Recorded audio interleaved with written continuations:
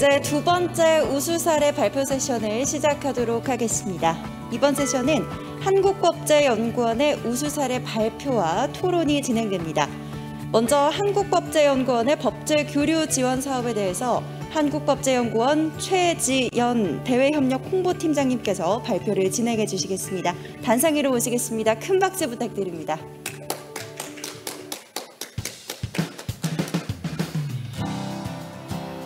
안녕하십니까. 한국법제연구원에서 법제교류 지원 사업에 대해서 발표를 맡은 최지연이라고 합니다. 그럼 지금부터 한국법제연구원의 법제교류 지원 사업에 대해서 발표를 진행하도록 하겠습니다.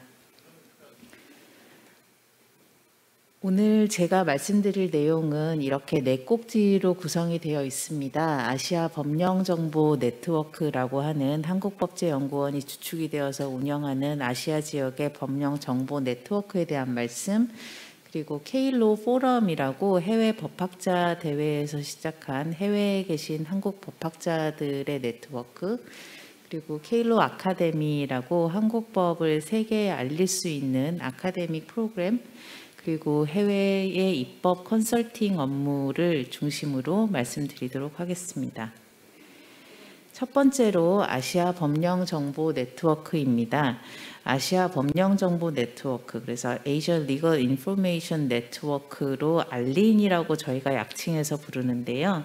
알린은 법제 정보 경험 전문성 공유를 통해서 아시아 지역의 입법 환경과 법률 문화를 향상하겠다라는 것을 목적으로 저희 연구원이 2005년에 발족한 네트워크입니다. 2005년에 시작을 해서 저희 연구원이 사무국으로 현재까지 어, 계속 명맥을 이어오고 있고요. 주로 아시아 지역의 로스쿨과 법제연구소 그리고 법제 전문 정부 기관 등을 회원으로 수립한 네트워크입니다.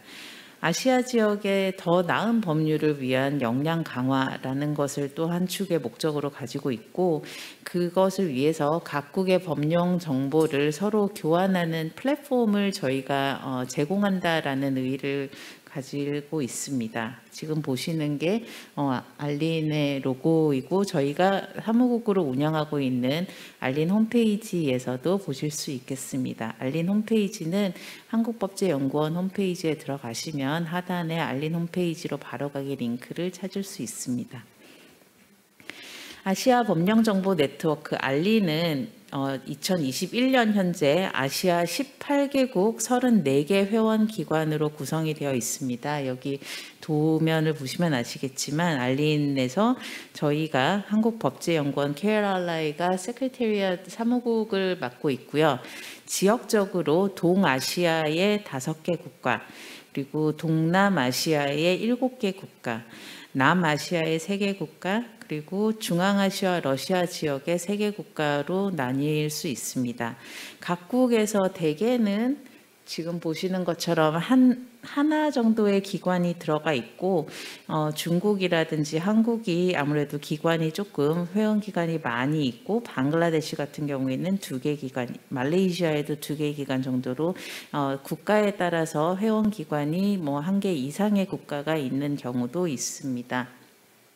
총 18개국의 34개 회원 기관으로 구성이 되어 있습니다. 알리는 그러면 어떤 일들을 하느냐? 저희가 사무국으로 운영을 하는 네트워크죠. 알린의 네트워크로서 저희는 회원기관 대표가 1년에 한 번씩 정기적으로 모여서 매년 정기 총회를 개최를 해오고 있습니다. 2005년에 처음으로 수립을 한 이후로 해마다 그 끊이지 않고 그 총회를 개최를 했고요. 처음 두 해는 저희가 사무국으로 이제 수립을 한 이후 직후이기 때문에 한국에서 개최를 하고 그 다음에는 경우에는 회원국에서 돌아가면서 정기 총회를 호스팅을 하고 있습니다. 그래서 태국이라든지 일본이라든지 베트남이라든지 이런 식으로 쭉 가고 있었고요. 작년 같은 경우에 2020년 같은 경우에 원래는 2019년 태국 대회 때 20년도는 대만에서 하고 21년도는 인도에서 하기로 그래서 대만 국립대에서 호스팅을 하고 인도 법률 연구소에서 호스팅을 하기로 이미 합의를 대표들끼리 다 본 상황이었습니다. 그러나 아시겠지만 코로나 상황 때문에 2020년도에는 2020년도 2월부터 급작스럽게 코로나 상황이 전 세계적으로 나빠지고 어, 해외 여행이 불가능한 상황이 되었기 때문에 저희가 불가피하게 사무국인 한국에서 여기서 이제 소규모로 현장에서 진행을 하고 모두가 온라인으로 참여하는 형식으로 작년과 올해 양해 2년 동안 그렇게 진행을 했습니다. 정기총회만 개최를 하는 건 아니고요. 정기총회를 하면서 알린에서 어떤 학술 사업들을 진행을 할 수 있는가에 대해서 논의도 하지만 정기총회와 함께 아시아 18개국의 34개 회원 기관의 전문가들이 모이는 자리인데 이것을 좀 더 뜻깊게 만들어 보자라는 의의에서 아예 처음부터 정기총회와 국제학술대회를 겸해서 같이 열고 있습니다. 그래서 2005년부터 지금까지 쭉 해마다 정기총회를 개최하고 그날 오후 또는 그 다음 날 이렇게 일정을 조정해서 어, 그때마다의 각국의 현안을 학술 대회를 통해서 논의를 해 왔습니다. 예를 들어서 어, 2020년 작년 같은 경우에는 코로나로 전 세계가 발이 묶여 있을 때 우리는 발이 묶여 있지만 우- 어, 바- 그 바이러스는 국경을 모른다라는 말을 저희 한 감염병 학자로부터 들었어요. 그래서 국경의 의미가 이- 희미해지는 이런 시기에 법제적 법제는 어떤 역할을 해야 되는가 그런 어, 주제를 가지고 어, 국경의 의미가 희미해지는 아시아의 법제라는 주제로 국제 컨퍼런스를 개최를 했고요. 올해는 또 어, 이 감염병에 대처하는 아시아의 법제는 어떠한가에 대해서 다 같이 논의해보는 시간을 가졌습니다. 컨퍼런스와 더불어서 알린에서 또 하나 그 저희가 수행하고 있는 것으로는 공동 연구입니다. 국제 공동 연구를 저희가 가지고 있는 네트워크 내에서 18개국의 여러 국가들에 있는 법제 전문가들과 함께 해마다 같이 국제 공동 연구를 진행을 하고 어, 연말이 되면은 수행한 영문 보고서를 음, 하- 여기 한국법제연구원에서 그동안 발간을 이렇게 수없이 해 왔습니다. 2021년 올해의 국제 컨퍼런스와 공동 연구 주제가 어, 아시아 각국의 감염병 대응 법제라는 말씀을 드린 바 있습니다. 국제 컨퍼런스를 온오프라인으로 저희 현장에서 서울에서 진행을 하면서 어, 해외에 계신 그 발제자들을 모시고 했는데요. 코로나 대응 법제를 아시아 각국의 입장에서 어, 우리나라에서는 어땠는데 니네 나라에서는 어땠니 이런 것들을 한꺼번에 들을 수 있는 그런 소중한 시간으로 같이 검토 하고 교훈을 얻고 그리고 앞으로 어떻게 나아갈 것인가에 대해서 제언을 구하는 시간을 가졌습니다. 그리고 국제 컨퍼런스와 더불어서 저희가 국제 공동 연구도 같은 주제로 올 2월부터 진행을 했습니다. 저희 알린 회원 기관이 어, 포진에 있는 17개국의 전문가를 일단 섭외를 하고요. 그 전문가 어떤 한 필리핀이라든지 베트남 같은 경우에는 그 하나의 전문 한 명의 전문가가 아니라 두 명의 전문가가 공저자로 같이 참여를 했습니다. 그래서 17개국의 총 20명의 어, 전문가를 섭외를 해서 저자로 참여를 하고 각국의 전문가가 그 나라의 감염병 대응 법제에 대한 상황을 정리하는 리포트를 마련해 주셨습니다. 이후에 그 각국의 전문가 이외에 또 다른 그 분야의 전문가를 다시 17명을 섭외를 해서 검토 사- 어, 작성된 리포트에 대한 검토와 감수를 부탁을 드렸고요. 이후에 법제연구원 내에서도 이것은 연구 과제로 수행이 되고 있기 때문에 연구 과제 심의위원 3인, 감리 1인의 검토를 거쳐서 11월 말에 발간 예정에 있습니다.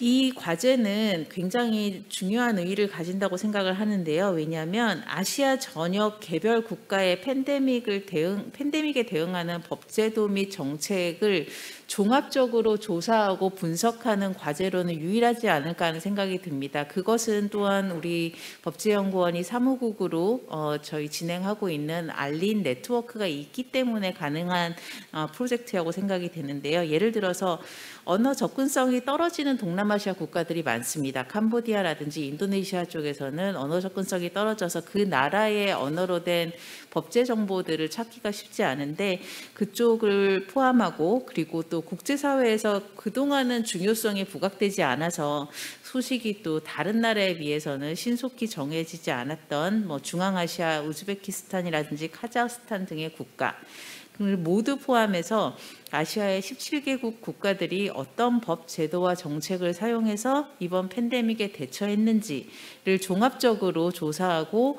어, 국내 국내외에 제공하는 좋은 자료를 만들었다는 생각이 듭니다.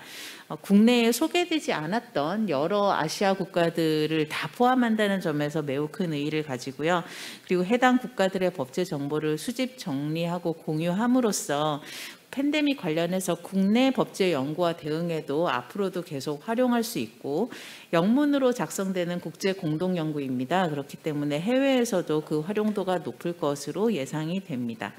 그 공동 연구 보고서의 구성으로는 각국이 전부 다 동일한 구성을 가지고 있습니다. 처음에는 각 국마다 모든 그 상황이 다르기 때문에 법과 정부의 체계를 간략하게 소개를 하고 그리고 코로나 이전에 그러면 그 나라의 감염병 대응 법제는 어떠했는가 법 제도와 정책에 대한 소개를 간략히 한 다음에 코로나 이후에 우리나라의 감염병 3법이 통과된 것처럼 해외에서는 어떤 변화가 있었는지에 대해서 소개를 하고 어떤 점이 인상 깊었고 어떤 점이 어, 효과적이었고 어떤 점은 의도했던 바가 잘 시행되지 않았더라 하는 현황에 대해서 소개를 하고 앞으로의 재현을 어, 첨가하는 식으로 그렇게 구성을 해서 진행을 했습니다. 그 내용으로 똑같이 컨퍼런스를 진행을 했다고 말씀을 드렸는데요. 여기 사진으로 보시는 것처럼 어, 한국에서 현장을 차려두고 해외 17개국의 전문가들을 온라인으로 연결해서 각각 어, 작성하신 보고서 리포트에 대해서 말씀을 전해 듣고 토론을 이어갔습니다. 이상으로는 아시아 법령 정보 네트워크에 대한 내용이었고요. 두 번째로 저희 어, 아시아 법제 교류 지원 사업에서 진행하는 케일로 포럼에 대해서 말씀드리겠습니다. 한국법제연구원은 어, 2012년부터 지난 거진 8년 9년간 미국 내 한국법 연구자를 대상으로 한국법 포럼을 개최한 바 있습니다. 그래서 처음에는 어, 한국법 연구자 중심의 네트워크를 해외 한국 법학자 대회로 2002년에 시작을 했고요. 올해 이제 2021년이 되면서 케일로 포럼으로 바뀌고 어, 그 지역적 범위를 원래는 한국과 미국에 국한이 되어 있다가 이제는 유럽까지 확장한 바 있습니다.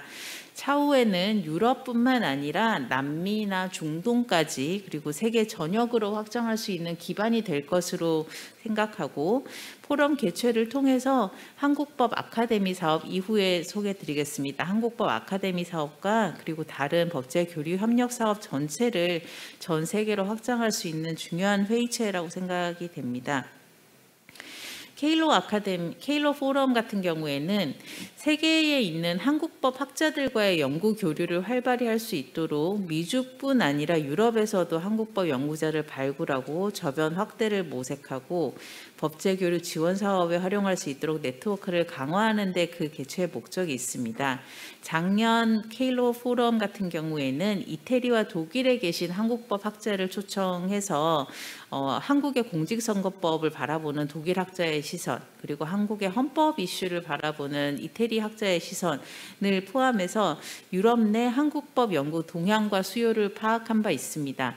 그리고 올해는 스페인과 오스트리아에 계시는 또 한국법 학자를 초청해서 해외에서의 한국법 연구와 교육에 대한 의견을 나눌 수 있었습니다.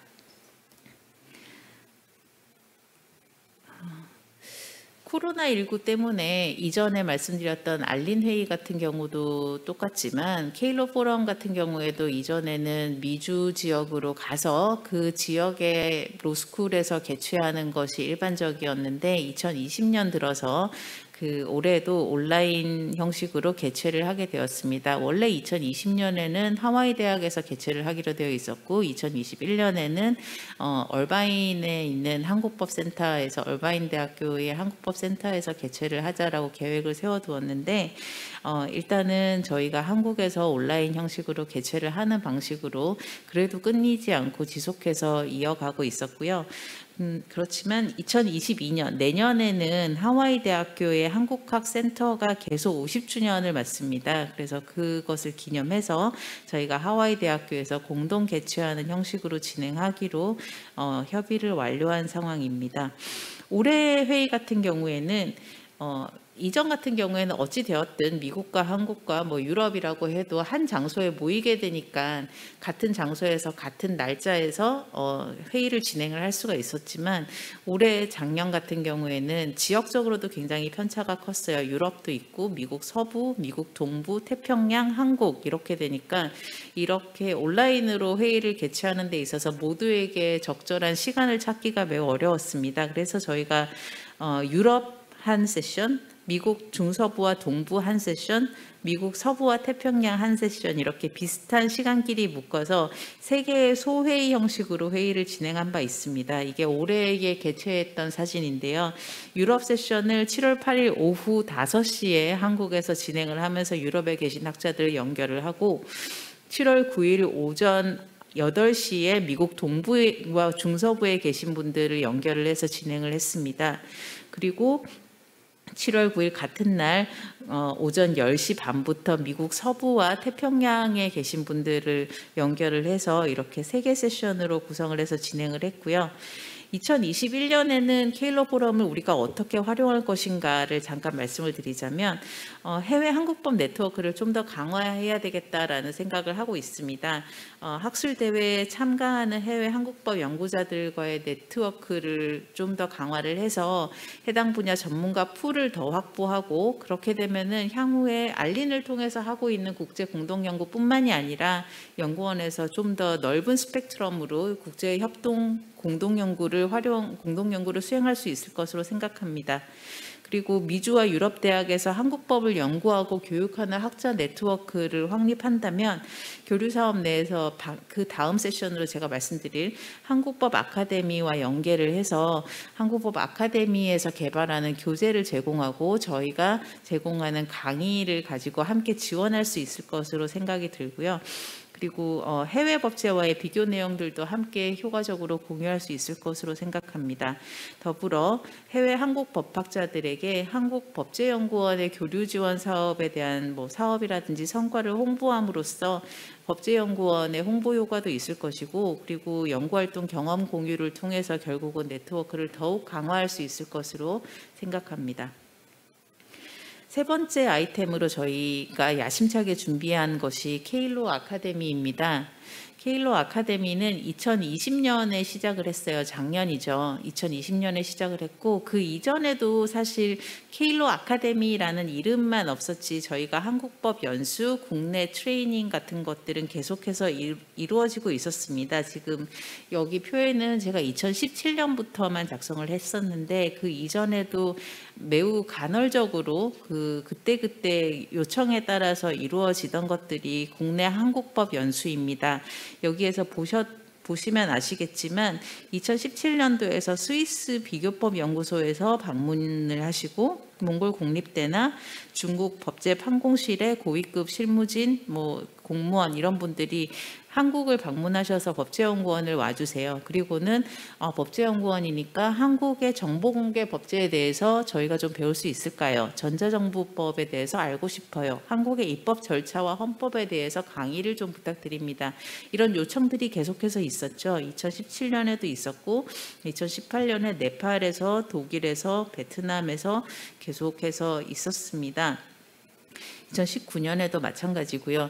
굉장히 다양한 국가의 아시아뿐만이 아니라 여러 다양한 국가의 법제 전문가들, 공무원, 학생, 교수 뭐 아니면 실무가들 중심으로 계속해서 지속적으로 이런 강의 요청들이 있었는데 그때 그때 저희는 그 강의 요청에 대응해서 강의를 만들어 드렸어요. 그때 그때 어, 전문가를 섭외하고 저희 연구원 내에 전문 그 전공을 하신 박사님들과 같이 강의를 그때 그때 만들고 하는 방법으로 대응을 하다 보니까 이거를 좀 더 체계적으로 우리가 한국법 아카데미라고 이렇게 프로그램을 만들어 두면 좋겠다라는 생각을 하게 되었고요. 그래서 2020년도에 한국법 아카데미를 구성을 하게 됩니다. 2020년도에 아카데미 구성을 하면서 처음 한 생각은 교재가 있어야 되겠다라는 생각이고요. 그래서 그럼 교재를 만들고 그 교재를 가지고 강의를 할 수 있는 실무 작업반을 먼저 구성을 하자라고 생각을 하고 원 내외의 전공 분야별 전문가를 섭외를 해서 케일로 아카데미 실무 작업반을 구성을 했습니다. 그래서 작년에 실무 작업반 전문가 회의를 개최하고 이분들과 함께 계속해서 커리큘럼을 개발하고 교재 집필에 대해서 논의를 거쳐서 작년에 여기 표에 보시는 것처럼 경쟁법부터 시작해서 노동법, 보건의료법 이런 공공조달법까지 의그 경- 강의 교재를 만든 바 있습니다. 이렇게 작년에 개발이 완료가 되었고요. 여기에 어, 나온 강의 제목들은 주제들은 모두 그동안에 한국법 강의 요청이 있었던 것들이거나 아니면 경쟁법 같은 경우에는 저희가 어, 아시아 지역에서 한국 경쟁법에 대한 관심이 매우 높기 때문에 매우 선두적인 위치를 가지고 있어서 그쪽으로 조금 더 말씀을 드려야 되겠다 하고 저희가 선도적으로 어, 설정을 해서 강의 교재를 만들었고요. 그리고 작년 코로나 사태를 겪으면서 그 방역 선진국으로 우리가 어느 어느덧 세계에 알려지게 되었고 한국의 보건의료법에 대해서도 관심이 높아졌기 때문에 보건의료법을 넣게 넣게 되고 전자정보법도 여전히 음, 각광을 받고 있어서요. 이런 식으로 좀 해외에서 많이 알고 싶어 하시는 마- 앞으로 자주 쓰일 수 있는 과목들을 선정해서 교재를 만들었습니다.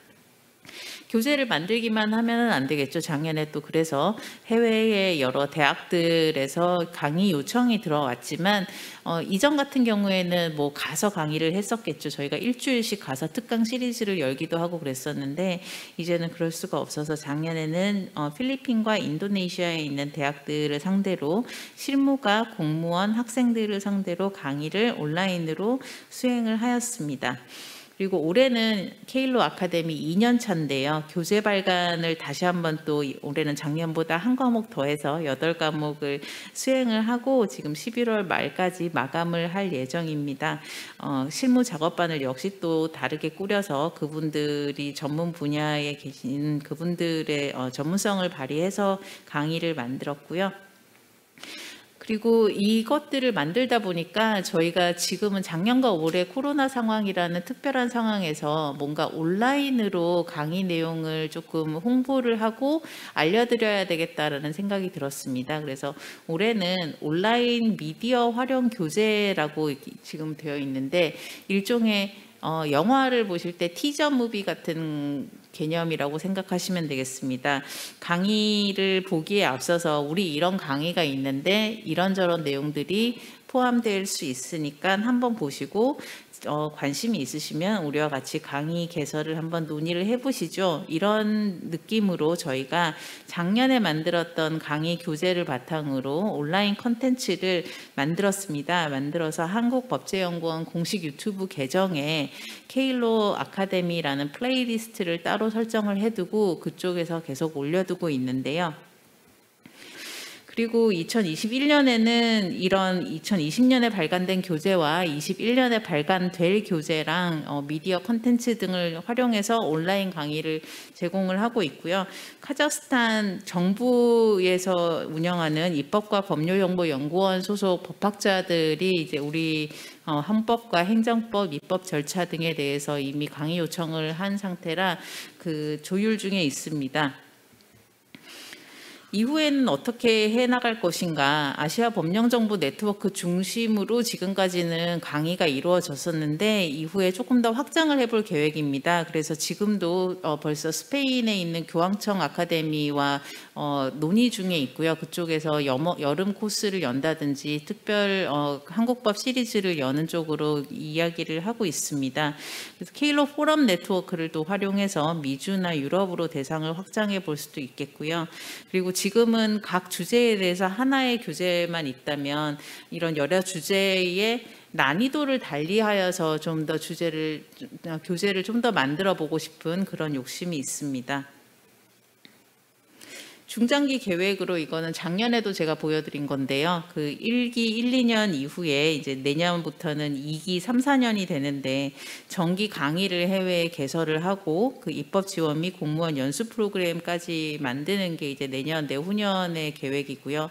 그 이후가 되면은 아무래도 안정기가 되어서 한국법 교육의 메인 플랫폼으로 저희가 자리 잡는 것이 목표입니다. 마지막입니다. 저희가 한국법제연구원에서 또 어, 수행하고 있는 사업 중에 하나가 입법 해외 입법 컨설팅입니다. 그동안 라오스의 주민등록법제라든지 하는 것을 2018년 그 월드뱅크랑 같이 가서 어, 입법 컨설팅을 하면서 그 나라의 재정 재개정 작업에 참여한 적이 있는데요. 이후에도 꾸준하게 그 국제기구라든지 해외에서의 입법 컨설팅 요청을 받아서 저희가 어, 수행을 해오고 있습니다. 가장 최근에 10월 20일에 독일에서 법정책 자문가단이 저희 연구원을 방문을 해서 독일 자율주행 자동차 관련 규정을 설정하는 데 있어서 한국법의 자문이 필요하다라고 방문을 해주셨어요. 그래서 저희 법제연구원 자율주행 자동차 smart mobility 관련해서 입법에 참여하고 정책 수립을 지원한 전문가를 모시고 같이 전문가 회의를 통해서 입법 컨설팅을 수행을 한 바 있고요. 이렇게 되면 우리 법제와 정책을 소개를 함과 동시에 독일 법 규정에 관한 논의를 우리도 하면서 같이 배울 수 있어서 향후에 개선 방 우리 법의 개선 방향을 하는데도 저희가 도움을 받을 수 있고 그 독일법의 제정이나 개정에도 도움을 줄 수가 있어서 매우 뜻깊은 행사라고 생각이 듭니다. 이후 이외에도 어, 농업 국제기구라고 아태 지역 농촌 종합 개발센터라는 국제기구가 있습니다. 유엔에서 1979년에 설립한 국제기구인데요. 법제연구원이 2017년에 이 기구와 어, 양해각서를 체결하고 기술위원회 회원으로 참석을 하였습니다. 그래서 이후에는 이 기구 내의 하부 운영 규정 정비를 저희가 수행을 했고 앞으로는 기구의 회원국으로 참여하고 계시는 각국의 농업 관련 법제를 저희 가 입법 컨설팅을 통해서 다시 한번 정비를 할 예정입니다. 이상 네 가지 꼭지를 어, 가지고 있는 저희 법제연구원의 법제교류 지원 사업에 대해서 말씀드렸습니다. 감사합니다. 네, 좋은 발표 감사합니다. 큰 박수 부탁드립니다. 네, 이젠 이어서 토론이 진행이 될 텐데요. 이번 토론에는 외교부 목희진 외무사무관님께서 참석해 주셨습니다. 큰 박수 부탁드립니다. 단상위로 모시겠습니다. 네, 이제 발표에 대한 토론을 진행해 주시기 바랍니다. 네, 안녕하십니까. 오늘 토론으로 토론자로 참석하게 된 외교부 지역경제기획과에서 근무하고 있는 목희진 사무관이라고 합니다.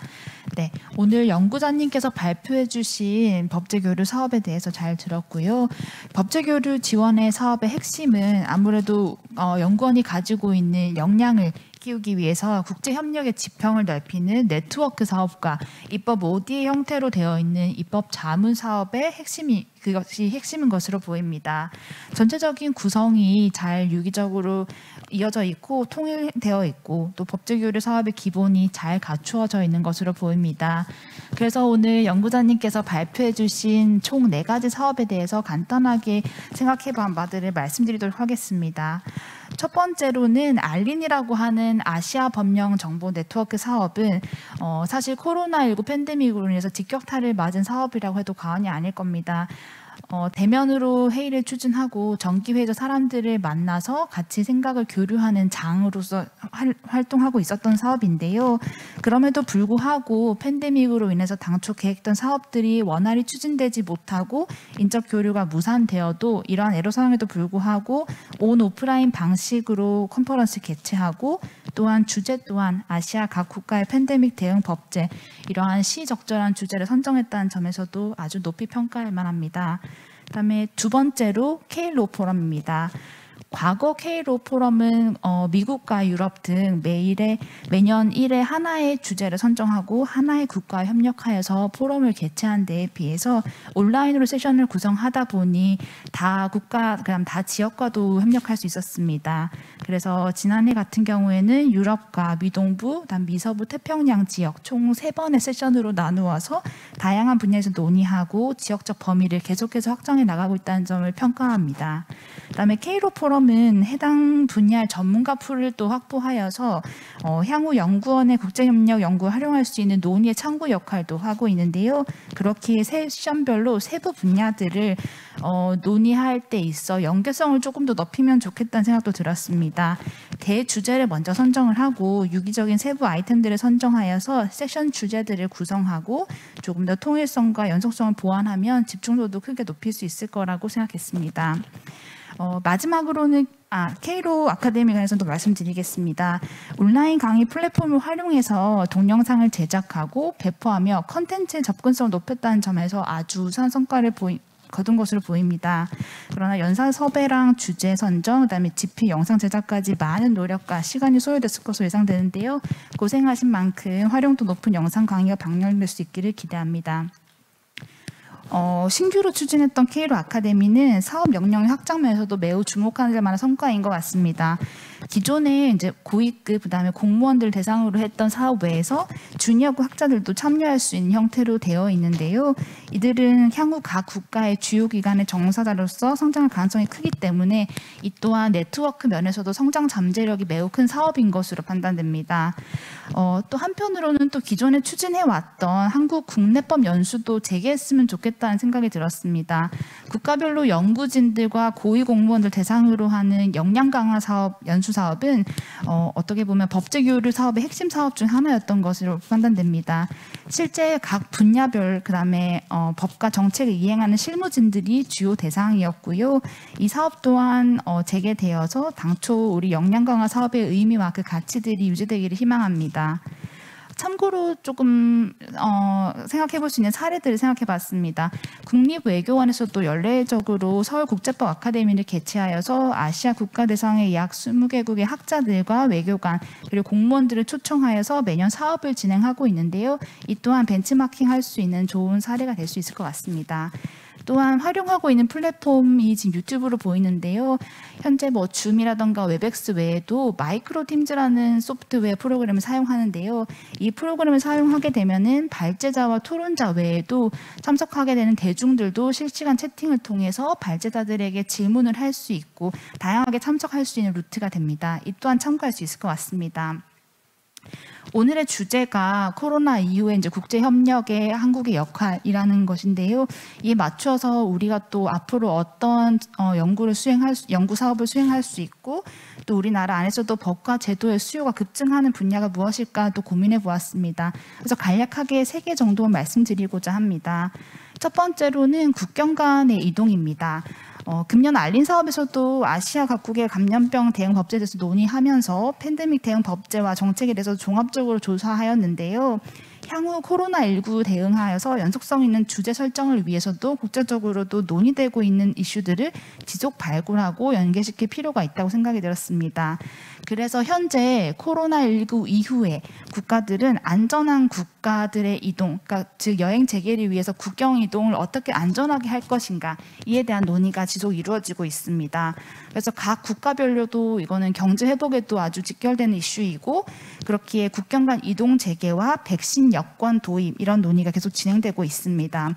하지만 안전성의 이슈, 그다음에 개인정보 보호 등에 대한 문제들은 계속해서 대두되고 있는데요. 어, 또 그렇게 특히 블록체인 기술을 활용하여서 국제적으로도 통용되고 또 상호 인증이 되는 백신 접종 등- 정- 증명서와 같은 이런 도입의 필요성과 그런 방식에 대해서 계속 논의가 되고 있습니다. 이처럼 주요 논의 회의에서도 백신 접종의 상호 인증과 그다음에 디지털 백신 접종 증명서, 백신 여권이라도 불리는 증명서, 또한 이와 관련한 개인정보 보호 등 관련 정책들이 지속적으로 논의되고 있는데요. 이에 대한 방안과 관련 법과 그다음에 그 제도에 대해서 도입을 어떻게 할 것인지에 대해서도 논의해 보는 것도 아주 좋은 내년의 연구 아이템 중에 하나일 것으로 판단됩니다. 그다음에 이제 두 번째로 말씀드리고 싶은 이슈는 위기 관리와 이제 의료보험 입법 지원입니다. 팬데믹은 좀 더 안전하고 자유로운 이동과 경제 활동의 제약, 그다음에 경제적인 어려움 등 계속해서 야기하고 있습니다. 또한 공중보건 위기에는 더욱 좀 더 취약한 개발도상국들은 아직 경제 회복을 얘기하기에는 조금 더 속도가 느리고 어려움이 있습니다. 그래서 이에 미치는 장기적인 영향을 해결하는데 국제 협력이 기여해야 한다는 논의의 흐름이 형성되고 있습니다. 입법 컨설팅 사업은 여타 단기 사업들과는 조금 달리 중장기 사업으로 진행되고 있고 또 우리 한국의 위기 관리 시스템과 국민 의료 건강보호 시스템을 통해서 팬데믹으로 인한 피해를 조기에 우리가 진압했듯이 개도국에게도 추가 감염 예방과 경제 회복을 위한 제도 구축을 지원하는 입법 지원 사업도 중장기적으로 진행해 볼 수 있을 것으로 사료됩니다. 마지막으로는 digital transformation이라고 표현된 디지털 변혁입니다. 우리 현재 연구원은 주요 협력 사업의 어, 지역으로 아시아 지역과 대다수 교류하고 있는데요. 현재 ICT를 포함한 과학기술 역량 강화가 경제 성장의 주요 동력임을 아시아들은 인식하고 각 국가별로 정책적인 노력을 기울이고 있습니다. 특히 일부 국가는 디지털 변혁이라고 하는 그런 과제들을 향후 10개년의 국가 주요 의제로 선정하고 있고요. 코로나19의 전자상거래와 핀테크 산업의 발전 그리고 디지털화를 가속화하고 있습니다. 그러나 아직까지 아시아 대부분의 국가들은 영내 기술 격차가 좁혀지지 않고 데이터 주권을 보장할 수 있는 법과 제도가 아직은 부족한 상황입니다. 이에 대한 논의도 시 적절하게 논의해 볼 수 있는 시점인 것으로 판단됩니다. 마지막으로 팬데믹 상황에서 대면 회의와 출장 등 기존 국제 협력을 추진할 수 있는 루트가 다소 어려워진 상황에도 불구하고 내실 있는 성과를 도출하고 또 신규 강의 개설 등 새로운 사업 발굴하시느라 고생이 많으셨을 것 같습니다. 앞으로도 더욱 다양한 사업들의 발굴을 기대하겠습니다. 감사합니다. 네, 감사합니다, 사무관님. 어, 저희 사업에 대해서 워낙에 좋은 방향으로만 이렇게 다 평가를 해주셔서 너무너무 감사드리고요. 사실 법제교류 지원 사업이 정말로 어느 기관이나 다 그렇겠지만 코로나 때 가장 타격을 많이 받은 사업입니다. 사람들을 해외에 나가서 만나고 해외에서 오시는 분들을 국내에서 같이 만나서 회의를 하고 네트워크를 해야 그것으로 근간이 되어서 이제 사업이 진행이 되는 사업인데 일단은 그런 것들이 다 막혀 있는 상황에서 어떻게 이 법제교류 지원 사업의 며- 맥을 끊이지 않고 그래도 어려운 상황에서 이어나갈 수 있겠는가 하는 게 가장 가장 작년의 고민이었고 그런 어려운 점 속에서도 저희가 최선을 다해서 어, 사업을 수행해 온 결과를 오늘 말씀을 드렸는데 그 부분을 다 읽으시고 이렇게 좋게 평가를 해주신 점에 대해서 굉장히 감사의 말씀을 드립니다. 어, 다른 부분은 저희가 항상 생각해 오던 고민해 오던 부분들을 또 말씀을 해주신 것 같아서 오늘 주신 말씀들을 다 잘 받아서 저희가 참고로 하고 내년 사업에 반영할 수 있도록 노력하겠습니다. 특히 어, 국립외교원 에서 하고 있는 서울국제법 아카데미 같은 경우에는 저희가 미처 챙기지 못하고 있었는데 어, 벤치마킹을 하면 좋겠다 말씀을 해주셨지만 벤치마킹도 하고 저희와 같이 연계해서 할 수 있는 방안은 무엇일지 협력할 수 있는 방안도 있는지 한번 알아보고 고민을 하도록 하겠습니다. 그리고 이제 아, 의제별 아이템으로 내년에 할 수 있는 여러 가지 이런 좋은 아이템들을 세 가지나 주셨어요.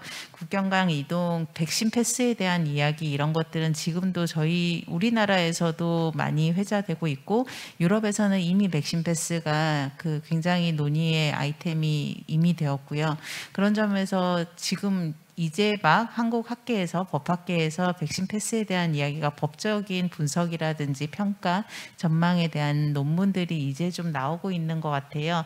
이런 것들을 가지고 우리가 주로 교류하는 국가들이 아시아 국가들이기 때문에 그쪽이랑은 어떻게 활용을 할 수 있을 것인가에 대해서 생각을 해본다면 매우 시의적절하고 중요한 주제가 될 수 있을 것이라고 생각합니다. 특히 동남아시아 쪽 이런 그 관광업이 굉장 히 큰 비중을 차지하고 있는 국가들의 경우에는 팬데믹 이후에 국가 경쟁력에 굉장히 큰 손실을 보았어요. 그래서 이런 어, 국가 간 이동, 국경 간 이동을 어떤 것을 어떤 법 제도적 지원으로 국경 간 이동을 더욱 원활히 할 수 있겠는가 하는 거에 대해서 논의를 우리가 여기서 이어 나갈 수 있다면 해외에 계시는 여러 어, 정부나 법학자들께도 어, 제언을 드릴 수 있는 위치가 되지 않을까 하는 생각이 들어서 좋은 주제를 주셔서 감사하다는 말씀을 거듭 드립니다.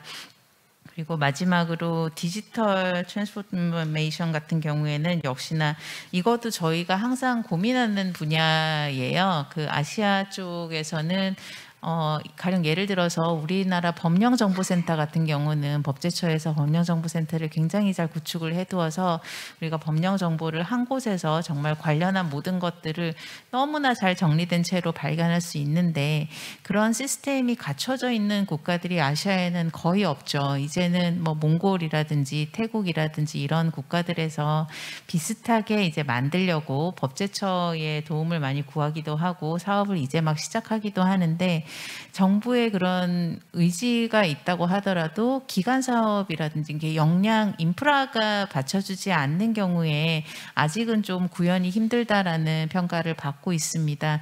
그게 결국은 ICT 산업이 어느 정도 그 발전했는지 그 영, 영내 역량이 어느 정도 되는지에 따라서 어, 정책이 구현이 어느 정도까지 될 수 있는지가 결정되는 것이라고 생각이 들고요. 법 제도는 역시 정책과 같이 가야 되겠죠. 그런 점에서 ICT 산업이 같이 발전을 하는 것은 이제 다른 섹터에서 계속해서 노력하고 계시는 일이니까 그 발전 속도에 떨어지지 않도록 저희도 법 제도적 지원을 다른 나라와 함께 지속적으로 잘 이어 나가도록 하겠습니다. 오늘 좋은 말씀 너무 많이 나눠주셔서 감사드리고요. 혹시 더 하실 말씀이 없으시면은 오늘 이것으로 토론을 마치도록 하겠습니다. 감사합니다. 네, 좋은 말씀과 의견 나눠주신 두 분께 다시 한번 큰 박수 부탁드립니다. 네, 이로써 2021 글로벌 코리아 박람회 2일차 두 번째 우수 사례 발표를 마치겠습니다. 이어지는 다음 우수 사례 발표 세션은 오후 2시부터 진행되겠습니다. 즐거운 점심시간 되시길 바라며 저는 잠시 후에 찾아뵙겠습니다.